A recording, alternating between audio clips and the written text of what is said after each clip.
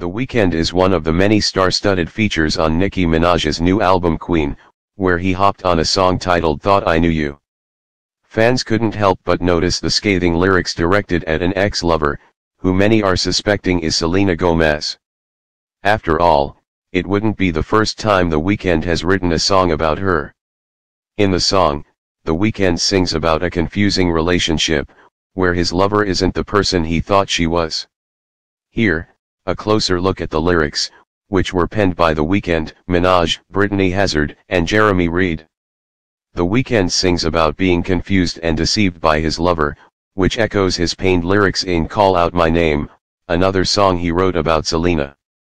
Shortly after Abel and Selena broke up, she got back together with her longtime on-again off-again ex, Justin Bieber.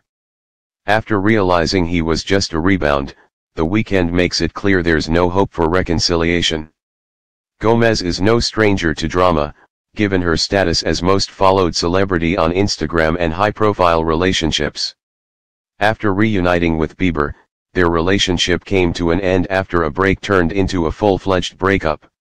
Bieber is now engaged to his girlfriend Hailey Baldwin.